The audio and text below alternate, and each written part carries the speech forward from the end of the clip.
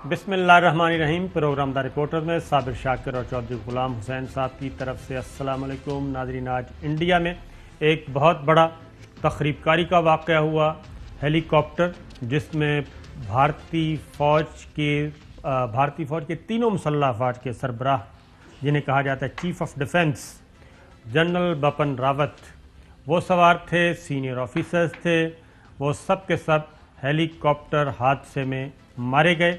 और अब तक उनकी तहकीकात की जा रही हैं, लेकिन अब तक खबर को छुपाया हुआ था। कुछ देर पहले कन्फर्म किया गया कि जनरल बपन रावत अब इस दुनिया में नहीं रहे और बाबा तौर पर बयान कल दिया जाएगा, लेकिन पहले सोशल मीडिया पे एक लेफ्टिनेंट जनरल रिटायर्ड से इस बात की तस्दीक करवाई गई और उसके बाद फिर सरकारी तौर पे ऐलान किया गया और अब बाबा तौर पे भारतीय फ़ौज के chief of defence general Bipin Rawat इस दुनिया में नहीं रहे और वो वफात पा चुके हैं, हलाक हो गए हैं।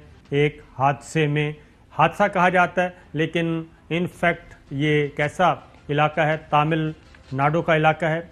वहाँ पे इनका हेलीकॉप्टर जो है, वो गिर कर तबाह हुआ है और सिर्फ़ डेस्टिनेशन से 10 किलोमीटर दूरी पे ये गिरा है और जंगलात में तमिलनाडु के जंगलात में ये गिरा है और काफ़ी देर के बाद जो है रेस्क्यू वाले पहुँचे हैं, यानी कि फ़र्स्ट एड भी काफ़ी लेट पहुँची। और इसके हम जायज़ा लेंगे क्योंकि काफ़ी जनरल बपन रावत जो हैं, वो काफ़ी मुतनाज़ चीफ थे और इनको एक्सटेंशन दी गई थी। और इनको भारतीय फ़ौज की रीस्ट्रक्चरिंग का टास्क दिया गया था, जबकि भारत की फ़िज़ाइया जो है एयर चीफ जो हैं, वो मुसलसल इनको अपोज कर रहे थे। राफील तैयारों की ख़रीदारी पे भी मामला आपस में गड़बड़ चल रहे थे, इख्तलाफात चल रहे थे।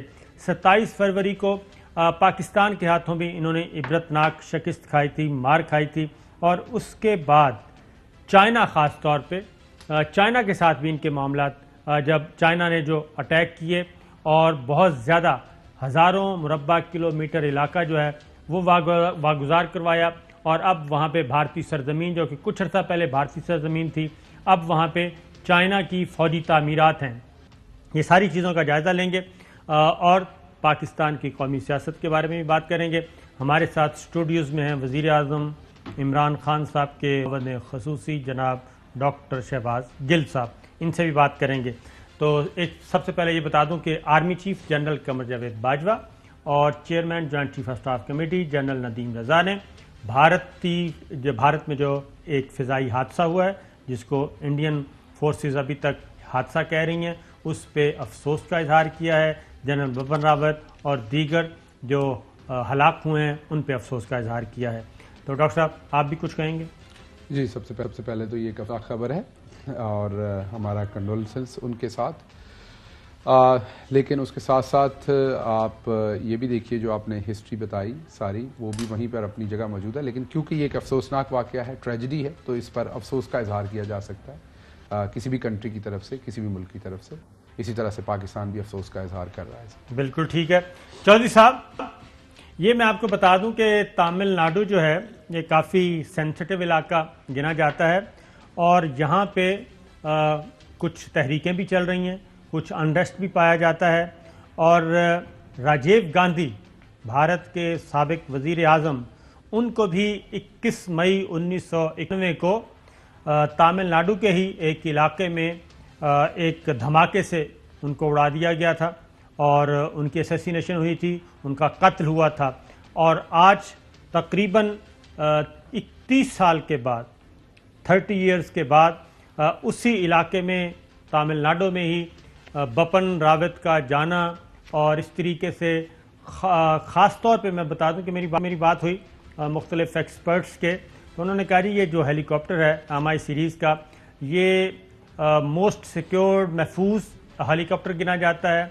और ख़ास तौर पे जब V V I P movement हो तो ये बहुत कम चांस है कि ये किसी नॉर्मल टेक्निकल हादसे का शिकार हुआ हो। बल्कि ज़्यादा चांसेस यही हैं कि सबोटाज हुआ है और किसी ने हिट किया है, या फिर एक और इतला भी आ रही है कि जो अंदर के ख़ासतौर पे भारतीय फ़िज़ाइया के साथ जो इनके अख्तिलाफ़ात थे वो भी वजह बन सकते हैं उसकी भी उसको भी कर किया जा रहा है। लेकिन आ, कल बाकायदा तौर पे स्टेटमेंट आएगी और वज़ीर अजम नरेंद्र मोदी ने सिक्योरिटी काउंसिल का इजलास सिक्योरिटी कमेटी का इजलास भी बुलाया है। चौधरी साहब।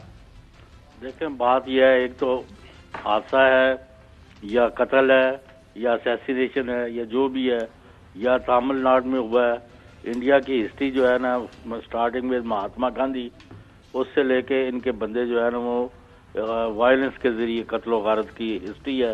इंदिरा गांधी ने पहले ऑपरेशन कराया, उसके बाद इकतीस अक्टूबर 84 को she was killed by her own security guards तो रजेब का जैसे आपने बताया, और ये इनके वाकयात सलसल से हो रहे हैं। अब वहाँ एक अंडर करंट जो है ना, हिंदुआता जो है वो उनकी तरफ़ ये ये ये फैलाया जा रहा है कि तमिलनाडु में तो ख़त्म होगी हुई तहरीक और श्रीलंका में और, और उधर की अभी it is end of the movement लेकिन उधर ये फैलाया जा रहा है कि ये हादसा हो ही नहीं सकता। ये तकरीब कारी दहशत गर्दी और टारगेट करके इंडियन फोर्सेस के चीफ को जो कि सबका इन्होंने बाद में पिछले कुछ अर्सा पहले ही इनको अहदा दिया हुआ था बीपी वापन को राम रावत को। हाँ जी। तो वो मतलब है इससे अब किधर ये ब्लेम गेम करते हैं इसीलिए इन्होंने बहुत देर में अनाउंस किया है। और अब जी कल पार्लियामेंट में बयान देंगे। या ये कोशिश कर रहे हैं कि वहाँ इलाके की सर्च करके अगर उनको पता हो लग चल चुका है कि ये हमला हुआ है और हमले में उनका चीफ मारा गया है तो उनको वहाँ कोई बंदे पकड़ के तो फिर ये अनाउंस करें कि जी असल में ऐसा हुआ है और हमने कल्प्रेट्स को पकड़ लिया है। इसका नतीजा यह है इससे इलाके में और रीजन में और हिंदुस्तान पाकिस्तान और बरसगीर में एक नई वेव ऑफ़ महाजरा ही नहीं आनी चाहिए। हादसा हादसे के तौर पर लिया जाए और हमारे भी अभी एक हेलीकॉप्टर वहाँ बॉर्डर पर गिर गया हमारे दो वहाँ अफसर शहीद सियाचिन में। लेकिन जो साहब ये है कि खासतौर पर डॉक्टर साहब भी दुनिया फिरे हैं सिस्टम को भी आप समझते हैं। ये बीबीसी की रिपोर्ट है, हमारी नहीं है। पाकिस्तान के किसी इंटेलिजेंस इदारे की रिपोर्ट नहीं है। इसमें ये बीबीसी की रिपोर्ट 31 दिसंबर 2019 की, के काफ़ी ज़्यादा इख्तलाफात पाए जाते थे और जनरल जनरल बफर रावत को नरेंद्र मोदी का राइट हैंड तस्वुर किया जाता था और ख़ास तौर पे जो हिंदुता का नज़रिया है फाशिस्ट नज़रिया, उसको उन्होंने इम्प्लीमेंट करना था। और फिर इनको जो टास्क दिया गया था वो था कि एक तो साइबर और स्पेस से मुतालिक तीनों फ़ौजों की तंजीमें, एजेंसियाँ और कमांडर्स, इनके मातहत होंगी। चीफ ऑफ़ डिफेंस स्टाफ की तकर्री के बारे में दिफाई हलकों में बरसों से बहस चल रही थी। ये बहस 1999 में कारगिल की लड़ाई के बाद एक जायजा कमेटी की रिपोर्ट के बाद शुरू हुई थी। इस कमेटी ने अपनी रिपोर्ट में लिखा था कि कारगिल की लड़ाई के दौरान बिलखसूस इब्तदाई दिनों में बर्री फ़ौज और फ़िज़ाइया के दरमियान रबते की शदीद कमी थी। और दोनों अफवाज एक मुश्तर लाहे अमल के बजाय अलग अलग कमांड पर काम कर रही थी जिस पर काफ़ी नुकसान उठाना पड़ा था। जायजा कमेटी ने तीनों अफवाज की एक मुश्तर और मज़बूत कमांड के लिए चीफ ऑफ़ स्टाफ का अहदा कायम करने की सिफारिश की थी और कारगिल कमेटी की सिफारशात को सियासी नातफाक़ी और तीनों अफवाज में इसकी मुखालफत के सबब अमली जामा नहीं पहनाया गया था और बिल आखिर अगस्त उन्नीस में योम आज़ादी के खिताब में वजी अजम नरेंद्र मोदी ने जनरल बपन रावत को चीफ ऑफ़ डिफेंस स्टाफ का तकर का ऐलान किया और 30 दिसंबर 2019 को मुल्क के वो पहले सी डी एस बने। और इस दौरान राफेल जो ख़रीदे गए, उस पर भी और ख़ास तौर पे 27 फरवरी का वाक़ हुआ, उसके बाद और फिर चाइना से जो मुसलसल मार पड़ रही है, उस दौरान भी जो भारत के एयर चीफ हैं, वो तो फ्रंट फुट पे आके इनकी मुखालफत करते रहे हैं। कि इनकी जो स्ट्रेटजी है इनकी जो प्लानिंग है वो बिल्कुल दुरुस्त नहीं है। और ख़ास तौर पे भारतीय फ़िज़ाइया को जो उनकी ज़रूरियात हैं वो पूरी नहीं कर रहे और बजट रिलीज़ नहीं कर रहे। ये थे। देखिए सबसे पहले तो जैसे आपने कहा साहब डॉक्टर साहब से पूछता हूँ। जी। सबसे पहले देखिए ये तो ये बड़ा इम्पोर्टेंट है कि ये जो इंसिडेंट हुआ है इसकी एक तो थ्री सिक्सटी डिग्री इंक्वायरी होनी चाहिए। इंक्वायरी होनी चाहिए कि कोई इंटरनल जॉब तो नहीं है। उनको रास्ते से हटाया तो नहीं गया। हम्म। कहीं ऐसा तो नहीं है कि उनसे बहुत सारे ऐसे काम करवा लिए गए थे अब तक बुरे और अच्छे और सबको पता है कि वो किस किस तरह की चीज़ें वो इम्प्लीमेंट कर रहे थे। आ, कश्मीर हो चाइनीज़ बॉर्डर हो पाकिस्तान के साथ जो इशू था आ, उसमें जो फेबररी में एक मैं स्कैम ही कहूँगा अभी उस पर अवार्ड भी दिया गया। तो ये सारे काम करवा के कहीं उन्हें रास्ते से तो नहीं हटाया गया। फिर ये भी देखना पड़ेगा कि जो अलीहदगी पसंद तनजीमें और तहरीक हैं हिंदुस्तान के अंदर वो भी बहुत शिद्दत पकड़ रही हैं इस टाइम उनके उनके भी जो जो पढ़ने में और देखने में आती हैं उन, उनकी भी मूवमेंट में शिद्दत है. कहीं उनका काम नहीं है. आ, अपनी इंटरनल फोर्स का काम नहीं कोई पॉलिटिकल इसके पीछे मोटिव बैकग्राउंड नहीं है. तो आई थिंक इसकी इन्वेस्टिगेशन होनी चाहिए बिकॉज़ इसमें कोई शक नहीं कि इस ये जो भी हुआ है अगर इसमें कोई साजिश है तो इसकी रेमिफिकेशंस पूरे खत्े के लिए हैं सिर्फ़ हिंदुस्तान के लिए नहीं है.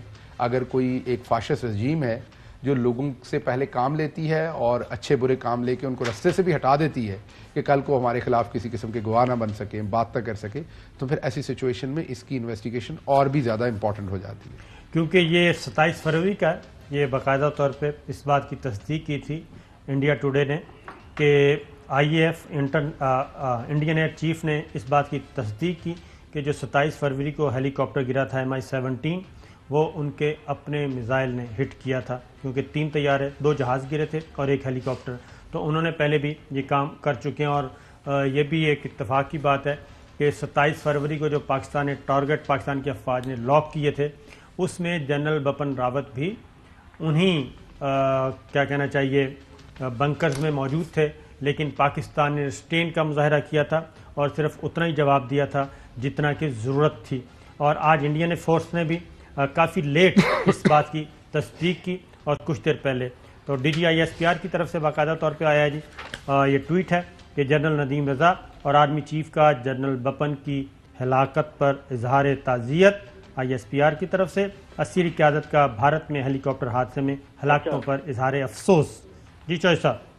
साबर शाकर साहब और शबाज गिल साहब जो हमारी टॉप ब्रास है मसल्ला फाज वो ये समझते हैं कि ये एक टेक्निकल उसका क्रैश है हादसा है, और इससे ज़्यादा नहीं है। लेकिन हिंदुस्तान के अंदर जो उधार खाए बैठे हुए हैं पाकिस्तान दुश्मनी में, और श्रीलंका के साथ पाकिस्तान और बांग्लादेश और नेपाल, वो इसको, यानी ये रंग दे रहे हैं कि ये तकरीबकारी है, और ये हमारा आर्मी चीफ जो है उसको कत्ल कराया गया है, और इसके पीछे या पाकिस्तान है या श्रीलंका या सारे हैं। तो ये अगले आपने देखना है चौबीस अड़तालीस घंटे में कि ये क्या रुख देते हैं। तो साहब, उसमें वो तो जो भी दुख रुख देंगे, वो हमें अंदाज़ा है। उसकी वजह है कि नेपाल इनके दौर में से निकला इनके हाथ से, इंडिया से। अब नेपाल चाइना के ज़्यादा करीब है। भूटान इनसे ज़्यादा दूर जा चुका है। और वो तमाम के तमाम मुल्क, बांग्लादेश चाइना की तरफ़ उसका रुझान है। श्रीलंका का चाइना की तरफ़ रुझान है। तो ये तो नाकामियाँ अगर इनकी गिनी जाएँ तो ख़ास तौर पे भूटान के साथ जो एग्रीमेंट हुआ है और जो चाइना ने, वो जिसको आप ख़ास तौर पे कहते होते हैं चिकन नेक उसके पास का एरिया जो है, वो चाइना ने भूटान से ले लिया है। और अब उन सात रियासतों में सेवन सिस्टर्स के करीब आके चाइना वहाँ पे अपनी फौजी तामीरत कर रहा है। तो इनकी नाकामियों का काफ़ी बड़ा था, जो आपने कहा। कि ये टेक्निकल फॉल्ट हम भी यही चाहेंगे कि टेक्निकल फॉल्ट ही हो। लेकिन जो एम आई सेवनटीन की एक हमने हासिल की है जी वेब से, वह कि एम आई सेवनटीन फाइव रूसी साख्ता जदीद ट्रांसपोर्ट हेलीकॉप्टर है, जो अफराधी नकलो हमल के साथ साथ असलिया और साजो सामान की मुंतकली के लिए डिज़ाइन किया गया। असला साजो सामान में कार्गो केबन के अलावा बैरूनी स्मगलिंग बैरूनी सेलिंग पर भी लोड किया जा सकता है। ये helicopter technical assault air groups और हमलावर टीमों को उतारने की खसूसी सलाहियत रखता है। और ख़ास तौर पर चौधरी साहब जब chief of defence general Bipin Rawat सफ़र कर रहे हों तो काफ़ी सोचना पड़ता है कि आखिर इतनी आसानी से वो कैसे मारे गए और वो भी डेस्टिनेशन से सिर्फ़ दस किलोमीटर ये भी देखना है कि और दो तीन हेलीकॉप्टर उड़ाए जाते हैं ना। और जब आर्मी का इतना बड़ा उहदेदार जा रहा हो। जी हाँ। तो वो किधर थे? और उसकी आ, फिर क्या है कि इतना लेट क्यों पहुँचे? और ये हेलीकॉप्टर उड़ा भी आ, इंडियन एयरफोर्स की बेस से है। ये सारी चीज़ें काफ़ी मेरा ख्याल है कि वहाँ पे भी शुरू हो चुकी हैं। चलें जी अगली स्टोरी पे आते हैं। डॉक्टर शहबाज गिल साहब की तरफ़। पीडीएम का सर इजलास हुआ और फिर हुआ? हाँ एक दफ़ा फिर हुआ। कब? आ, दो तीन दिन पहले हुआ। और उसमें तेईस मार्च, साढ़े तीन माह के बाद की तारीख दी गई है। लेकिन उससे पहले एक शादी की तकरीब होती है। जाती उम्र में वलीमा था, जुनेद सफदर का मरीम सफदर साहबा के साहबजादे हैं। और उस पर एक वीडियो जो है ख़ास ज़ाहिर खुशी का मौका था। सब कुछ होता है, ये हमारी मशरक़ी रवायात हैं और हमारा कल्चर है। तमाम रिश्तेदार, अज़ीज़ व अकारब जो हैं, वो उसमें शरीक होते हैं। और खुशी भी मनाते हैं। मैंने कल भी ज़िक्र किया था, जनरल राहिल शरीफ अपने बेटे के शादी पे बहुत ज़्यादा मसरूर थे और वो भी एक ख़ास डांस कर रहे थे। असद उमर साहब की भी वीडियो आ चुकी है, वो भी कर रहे थे और सोशल मीडिया पे उसको ख़ास एंगल देने की। तो अब की बार जो हुआ, वो मरीम सफदर साहबा की वीडियो आ गई। हम बिल्कुल मरीम सफदर साहबा का ट्वीट भी आया और वो भी हम पहले उसका ज़िक्र करते हैं और उनकी बात बिल्कुल ठीक है। हम भी इसी बात के हामी हैं कि जी खुशी के मौके जो होते हैं, निजी महफिलें जो होती हैं वो बिल्कुल इसी तरह ही होनी चाहिए। प्राइवेट अफेयर्स है, इसमें कोई शक नहीं है। मेरे बेटे की शादी निजी ख़ानदानी मामला है। सियासी तबसरों के बगैर मौका को मनाने का हक रखती हूँ। दरख्वास्त है, मेरे ख़ानदान के ज़ाती मामला का एहतराम करें। हम सौ फ़ीसद मुतफ़ हैं इस बात का। और इसमें कोई दो राय नहीं है जी। लेकिन गाना है कैप्टन सफदर साहब ने आज इसको फिर ज़िंदा कर दिया, क्योंकि हम इसी ट्वीट पे रहना चाहते थे। लेकिन कैप्टन सफदर साहब ने आज क्या गुफ्तु की है, वो सुनाइए। अगर हम पीछे जाए, अपनी नानियों दादियों को देखें, वो गाती थी देसा दा राजा मेरे बाबल दा प्यारा, ते वीर मेरा घोड़ी चढ़िया उनके गाने आपको याद नहीं है तो मरियम का गाना आपको याद आ गया। और लीडर लीडर होता है। लीडर गाने गाता भी है तराने पढ़ता भी है गाने गलवाता भी है और तिगनी की नाच भी नज़र आता है। आजकल नाच रहे हैं तिगनी की नाच।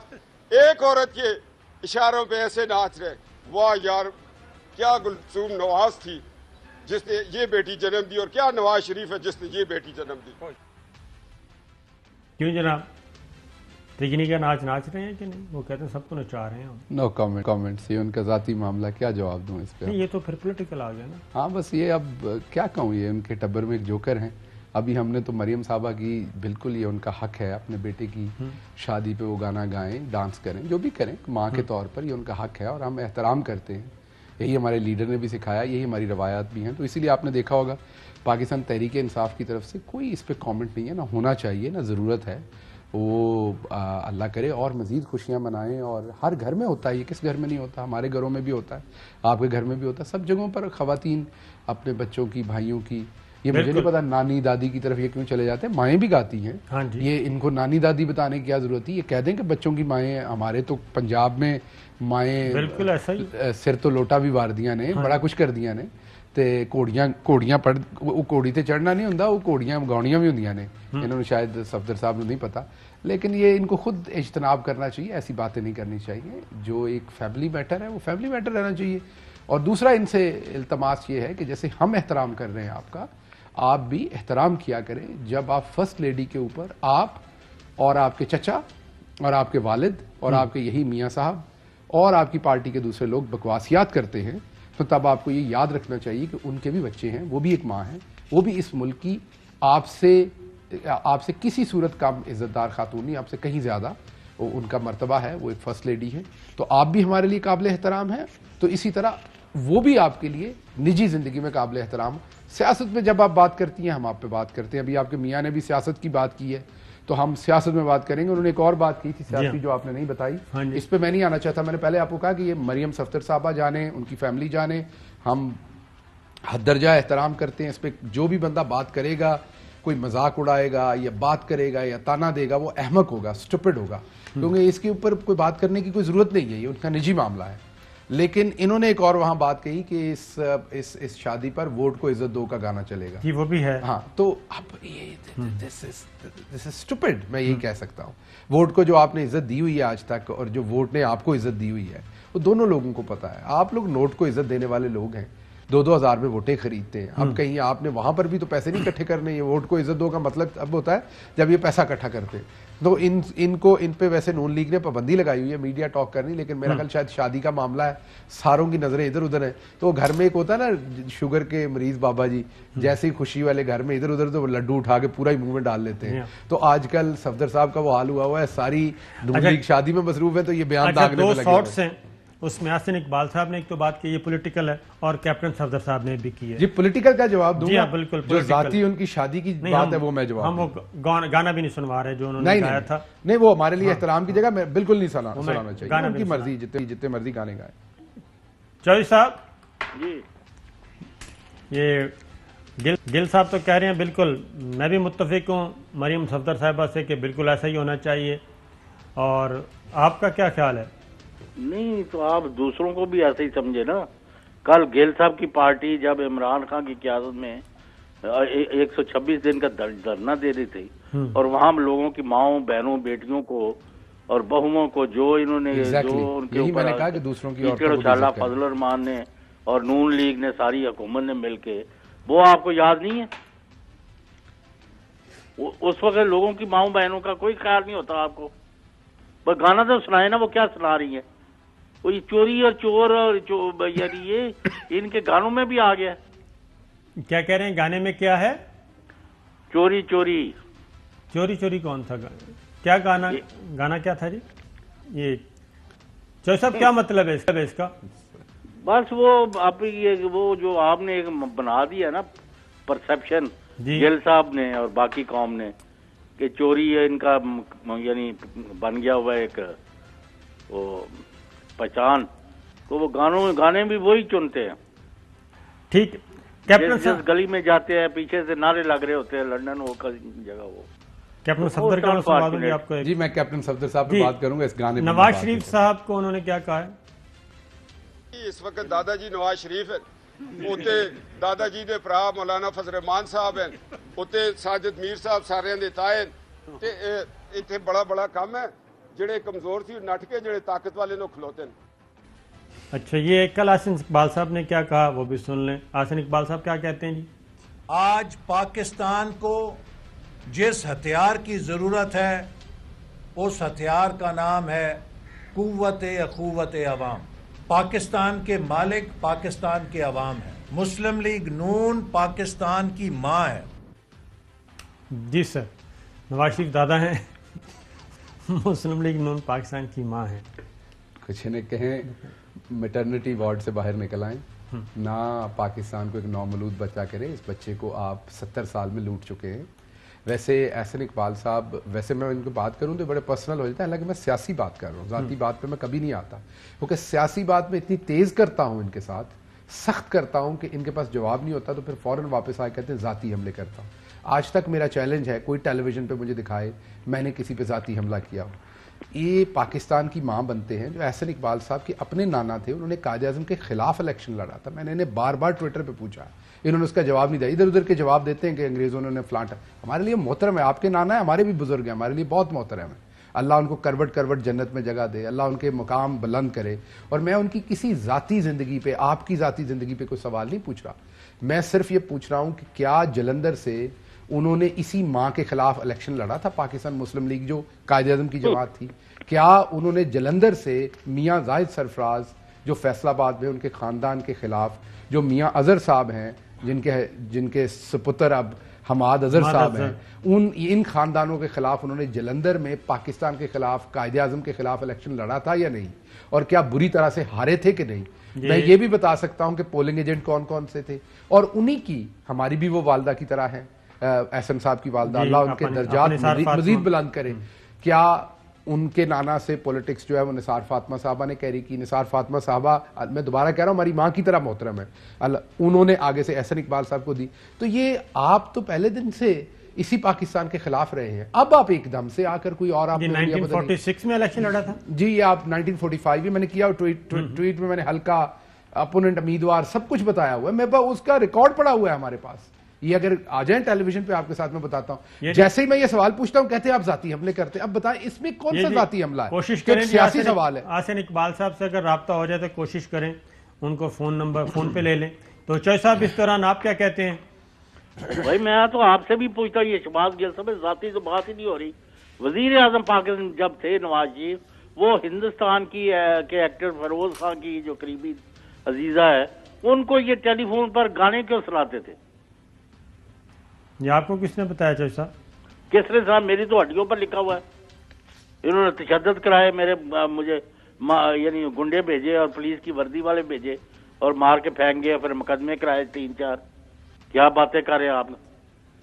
इसी बात पे? इसी बात के और दूसरी बातों पर। सही सही। बाकियों को तो इनको शर्म नहीं आती। तो मेरे तो बच्चे ही उस वक्त बहुत छोटे थे। अभी भी अभी रात को घंटी बजती है तो वो जो यानी बलबला बच्चे जो है उनको वो खौफजदा सिचुएशन असल में ना असल में इन्होंने बहुत ही स्मार्टली किया ये है।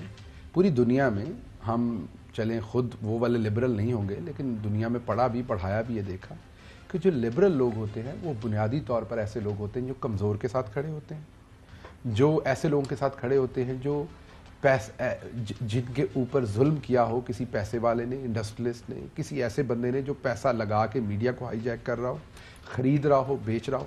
हमारी हालत यह है, मेरे मुझे अभी एक दोस्त ने मैसेज किया जब मैं पहला जवाब दे रहा था। उन्होंने मुझे कहा वेरी गुड आंसर आपने मरियम साहबा के ऊपर कोई बात नहीं की। लेकिन मैं उनका बड़ा एहतराम करता हूँ। वो खुद भी एक फ़ॉरेन जरीदे के लिए लिखते हैं मेरे वो दोस्त।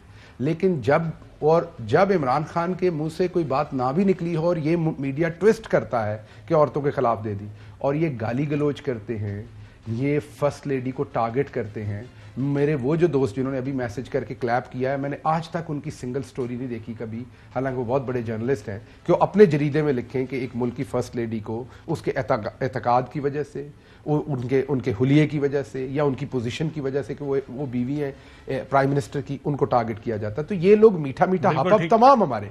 मेरे लिए सारे बड़े मोहतरम हैं। लेकिन ये लिबरलिज्म भी तब तक है जब तक अपनी अपनी इनकी मर्ज़ी है तो आप बहुत अच्छा कर रहे हैं। जैसे ही आप इनकी मर्ज़ी के खिलाफ जाए तो आप बहुत बुरा कर रहे हैं। हालाँकि लिबरलिज्म ये है कि आप दूसरों का एहतराम करें और दूसरे आपका एहतराम करें। डॉक्टर साहब ये एक सुर्खों की लॉट है। जो कि काफ़ी देर मैं तो कहता हूँ जी सुर्खों की लौट है उनका भी एहतराम है लेकिन वो भी तो वापस एहतराम करें आपका। उनके ख्याल में आपके पास तो आपके नज़रिए को तो जीने का हक नहीं है उनके नज़रिए को जीने का हक है। के वजह से फिर एक्सट्रीमिज्म पैदा हो। वेलकम बैक नाजरीन कैप्टन सफदर साहब जी बड़ी गुफ्तगू करते हैं और फ्रंट फुट पे खेलते हैं और सबको हैरान भी करते हैं परेशान भी करते हैं और बाज़ ऐसी सी बातें बता जाते हैं कि जो किसी वहम गुमान में भी नहीं होती। कुछ अर्सा पहले उन्होंने कहा था सैनमा स्कोप फ़िल्म आ रही है। पहले ज़रा वो शॉर्ट सुन लें। इसके बाद एक सिनेमा स्कोप फ़िल्म आएगी। उसका मतलब है कि फुल स्क्रीन पे मज़ा आए देखने वालों को। वो अभी वो फ़िल्म आने वाली है। बड़े बड़े लोगों की फ़िल्में भी आएँगी। कोई स्विमिंग पूल में गिरा हुआ है कोई स्विमिंग पूल से बाहर है कोई वॉशरूम में गिरा हुआ है कोई किधर घुमा हुआ है। फ़िल्म का डायरेक्टर एक मजलूम पाकिस्तानी है। अच्छा जी एक आपने कभी डॉक्टर साहब अर्क के गुलाब इस्तेमाल किए? नहीं सर। नहीं? मौका नहीं मिला अभी तक पीने के लिए सर सुन रखा है देख रखा है लेकिन इस्तेमाल नहीं कभी कर सका। आँखें कभी नहीं धोई? नहीं सर अभी तक नहीं। तो फिर वर्के गुलाब का बंदोबस्त कर लें आप। क्यों क्या हो गया सर? वो कैप्टन सफदर साहब बता रहे हैं कि अर्क गुलाब का बंदोबस्त करें। वो एक और वो एक और वीडियो लेके आ रहे हैं। वो ज़रा सुन लें। सिनेमा स्कोप से पहले इंतज़ार फरमाइए कि स्लाइड चल चुकी है। तो आपको इंतज़ार करना पड़ेगा। अगर आपने ऑफ़ द रिकॉर्ड देखनी है मेरे साथ हलफ उठाए तो मैं आपको दिखा दूँ। मगर हलफ होगा। मगर वो फिर आँखें आपको अरके गुलाब से धोनी पड़ेंगी, इतनी पलीत होगी। नो कमेंट सर मैं अब क्या कहूँ आपको? इनके कारनामे देखें सैनमा स्कोप पता नहीं कैसी कैसी ये क्या बातें कर रहे हैं नेशनल टेलीविज़न पे? कोई बाथरूम में गिरा होगा, कोई स्विमिंग पूल में गिरा। अब जवाब दें इस पर तो फिर इन्होंने कहना, बहुत गंदी बात कर रहे हैं। तो ये इनका कोई इलाज करवाना चाहिए, इन्हें गंदी फ़िल्में देखने, बनाने की आदत हो गई है। ये ख्वाब देख रहे हैं फ़र्स्ट स्पाउस बनने के, कि इनकी बेगम कभी प्राइम मिनिस्टर होंगी और ये फ़र्स्ट स्पाउस होंगे। तो उस टाइम पूरी दुनिया में अगर ये ख्वाब में भी ये सोचते हैं तो अगर ये ख्वाब में भी सोच लें तो इनको ख्वाब में ही शर्म आ जानी चाहिए कि ये वाले जो शख्स हैं, ये क्या पूरी दुनिया में ये जिस तरीके से फ्रेम खोल रहे हैं कि सैनमा स्कोप होगी। तो क्या इस तरह की फ़िल्में सैनमो में चलती हैं? मुझे बताएँ, पाकिस्तान में कहाँ चलती हैं ऐसी फ़िल्में सैनमो में? जो ये कह रहे हैं स्विमिंग पूल में गिरी हुई और बाथरूम में गिरी हुई। मैं ये समझता हूँ कि जो इनका छोटा मोटा पर्दा रह गया था ना इन हरकतों से इन्होंने वो भी मसला सिर्फ़ ये कि अपने मुखालफिन की इज़्ज़त उछालनी है किसी तरह से भी उछालेंगे जिन लोगों को ब्लैकमेल करना आपने भी एक खबर दी थी कि ऑडियो है आप कोई नहीं सर वो मैं तो उसी दिन क्लियर की थी कि वो सहाफियों के बारे में है किसको नौकरी पे दें किसको गंदी वीडियोस और और बढ़ना वीडियोस लोगों ऑडियो वाली कब लोगों की जाती वीडियोस लोगों के बाथरूमों की वीडियोस लोगों के बेडरूम की वीडियोस इस धंधे में इस वीडियो सेंटर में ना हम पढ़ते हैं ना हमारा हमारे मुखालफ की भी अगर कोई हमें बताएगा ना तो उसको शटअप कॉल देते हैं। ऑडियो- ये लोगों का जाती मामला ऑडियो वाली में बिलो द बेल्ट नहीं। उस ऑडियो में मैंने आपको बताया एक सहाफी ने मुझे दिखाई। जी। उसमें वाज इंस्ट्रक्शन है कि किसकी नौकरी कब खत्म कर दी जाए क्योंकि वो सहाफी की प्रॉपर्टी है वो। वो एक बड़ी स्टोरी बिल्ड कर रहे हैं उसके पीछे और भी कुछ डॉक्यूमेंट्स उनके हाथ लगे हुए हैं। तो वो एक मिला के स्टोरी ला रहे हैं उस ऑडियो के साथ। तो वो उनका आ, आ, आ, मैं कहूँगा इस्तेहकाक है कि वो कब देना चाहते हैं। मैंने उनसे गुजारिश की है कि जल्दी लेके आए लेकिन वो किसी की निजी ज़िंदगी या किसी की पर्सनल कोई बात उसमें नहीं है। टेलीविजन- वो बड़ी प्रॉपर बात है। मैं उसमें नहीं जाऊँगा क्योंकि वो फिर मैं अगर उस, उसके उसके जो फैक्ट्स हैं वो आपको दूँ या उसका कंटेंट दूँ तो मेरा उनसे जो वादा है वो खराब होगा। लेकिन हमारी एक इनको बड़ी वाजे मैं इनको वार्निंग ही कहूँगा as as as as as a somebody in the politics कि ये गंदे काम नहीं करें ये सियासत नहीं है ये गंदगी है। आप सियासत पे रहें लोगों के सियासी कंडक्ट पे रहें लोगों के प्रोफेशनल कंडक्ट पे रहें लोगों की जो पोजीशन के ऊपर उन्होंने कंडक्ट किया उस पे रहें। ये लोग अपने बेडरूम में क्या करते हैं और लोग बाथरूम में क्या करते हैं और स्विमिंग पूल में क्या करते हैं ये उनको उनके हद तक रहने दें। और जब आपकी ऐसी फ़िल्में आती फिर आप कहते हैं ये जाली ना से करें ये बात साहब से बात कर लेते हैं। चौधरी साहब। आर के गुलाब का बंदोबस्त कर लें। अच्छा। और क्या गुलाब का हमने बंदोबस्त क्या करना है?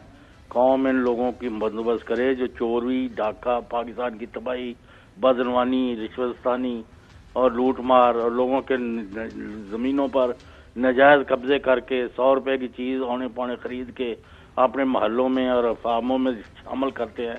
उनका बंदोबस्त होना चाहिए और मुझे अफसोस है शहबाज गिल और इनकी हुकूमत पर कि इन लोगों को इनके अंजाम तक पहुँचाने में इन्होंने साढ़े तीन पौने चार साल जाया कर दिए हैं आइंदा भी कुछ करेंगे या नहीं करेंगे इन्हों दी आनियाँ जानियाँ रह गई ने। चलो, अदरवाइज़ रिज़ल्ट एक मैं जवाब दे दूँ एक ब्रेक पे वापस आते हैं। ब्रेक के बाद वेलकम बैक नादरीन। अब एक और बात। आसन इकबाल साहब ने की है जी कि वो नए हथियार के साथ आ रहे हैं मुसल्ला होके। और क्या हथियार आपको होगा बताया? पास? मतलब आप सुनाई जी जरा। तेईस मार्च को आना उन्होंने। आज पाकिस्तान को जिस हथियार की ज़रूरत है उस हथियार का नाम है कुत अखूवत अवाम। जी सर और तेईस मार्च को आना है उन्होंने। सर ये एहसन इकबाल साहब जो है ना ये उस पहलवान की तरह हैं जो एक फैसलाबाद में होता था वो कहता था कि मैं सवेरे 10 बजे जो बाहर निकलना दुकाना बंद हो जाती हैं। उन्होंने पूछा किधर निकले सो उन्हें खबर निकलता जुमे वाले दिन है क्योंकि जुमे को वैसे दुकानें बंद होती हैं। तो ये कुत अखुवत अवाम अखुवत तो इनके पास से नहीं गुजरी। अखुवत तो यही है कि लूट के खा जाए। अखुवत तो होती है आपने अपना हिस्सा किसी और भाईचारा। भाईचारा। इधर तो लूट के खा करना। दूसरी बात चौधरी साहब ने कही कि तीन साल में आपने इन लोगों को इनका एहतसाब नहीं किया आप इधर चले गए उधर चले गए। देखिए बात ये है। जो सबक जज शबीम साहब हैं उनका जो कंडक्ट है जो उनके बयान हैं जो हेरा फेरियाँ हैं सारी जो अदालत में सामने आ रही हैं। कभी वो ये कहते हैं कभी वो कहते हैं। कभी कहते हैं कि वो बयान हल्फी जो है वो किसी लॉकर में है कभी चौधरी इतजाज हसन साहब ने एक बात की है वो सुन लें उसका फिर जवाब दे। जी। बयान हल्फी राना शमीम के पास नहीं है। किसके पास नवाज़ शरीफ के पास है। और नवाज़ शरीफ ने महफूज रखा हुआ है। नवाज़ शरीफ ने उसको इस्तेमाल करना था। नवाज़ शरीफ का जो ये वहाँ की दरखास्त है, बरतानी अथॉरिटीज को कि मुझे यहाँ से न निकाला जाए। लंदन में नोटराइज कराने का मकसद यही इस्तेमाल लंदन में होना है। नवाज़ शरीफ अपनी दरखास्त में साथ लगा के कहे कि ये एक चीफ जज है जो कहता है, मेरे साथ चीफ जस्टिस ऑफ़ पाकिस्तान बैठा हुआ था और उसने कहा था कि इसकी और इसकी बेटी को उनको नुकसान पहुंचाना है, उनको बाहर नहीं आने देना, उनकी जमानत नहीं होने देनी। और उसने एक जज हाईकोर्ट को कहा यानी ये सारी जुडिशियल एक कंस्पिरेसी थी जो लंदन में ही इस्तेमाल होना था और लंदन में ये डॉक्यूमेंट किसी काम का है. जी सर डॉक्यूमेंट लंदन में इस्तेमाल होना है और नवाज़ शरीफ साहब के पास है तो गवर्नमेंट क्या करेगी? देखिए बात ये है पहले तो मैं ये कहूँ कि आपने मैं पहली बात का जवाब दूँगा एहतसाब आपने। देखिए जिस आप शोबे को पकड़ते हैं उसमें एक माफिया सेकंड रह है। गए उसको उस पे माफिया। राना शमीम साहब जैसे लोग इन्होंने जज बना दिए हुए थे। अब अकेला इमरान खान है। दिन रात कोशिश कर रहा है। दूसरी तरफ़ सारा माफिया खड़ा है। मैं आपको ये बता दूँ कि जब अकाउंटेबिलिटी की बात आती तो कई हम में से भी कहते हैं इमरान खान को कि छोड़ें जी इसमें से क्या निकालना है? आगे चले। क्योंकि हो सकता है कोई दो चार गाजरें उन्होंने भी खाई हुई हों कहीं से। तो इसलिए एक अकेला बंदा इस सारी चीज़ के खिलाफ डट के खड़ा है। इसलिए मुश्किल आ रही हैं लेकिन वो पीछे नहीं जाएगा। कमीशन बनाना जितनी मर्ज़ी ये है। खड़ी कर दे वो अकेला शख्स डट के खड़ा है वो अकाउंटेबिलिटी की बात करेगा। जब तक वो ज़िंदा बात करता रहेगा। अल्लाह हाफिज। अहम तरीन खबरें अब एक क्लिक की दूरी पर। आपके पसंदीदा टॉक शोज़ हों या अहम मुल्की या गैर मुल्की शख्सियात की न्यूज़ कॉन्फ्रेंसेस हर लम्हा बाखबर रहने के लिए सब्सक्राइब करें हमारा यूट्यूब चैनल मौसम की सूरत हाल हो या खेल के मैदान से खबरें। अपने मोबाइल फ़ोन से मुल्की और बैन अवी अहम खबरों तक रसाई के लिए डाउनलोड कीजिए mobile app.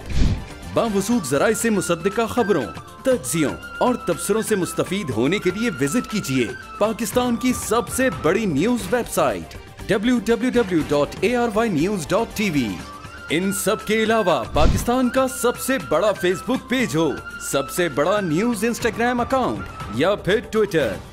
A R Y news पहुँचा रहा है खबरें। सबसे पहले आप तक, ताकि आप रहें हर लम्हा बाखबर।